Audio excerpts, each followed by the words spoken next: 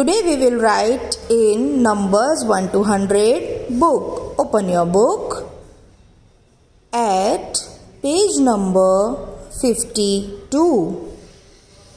Write here today's date that is 8 12 21.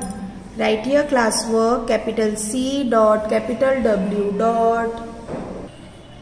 Write number names 1 to 10. Now here this is O-N-E 1. So you have to write here same O-N-E 1. T-W-O 2. T-W-O 2. T-H-R-E-E 3. T-H-R-E-E 3. F-O-U-R 4. F-O-U-R 4. F-I-V-E 5 F-I-V-E 5 S-I-X 6 S-E-V-E-N 7 E-I-G-H-T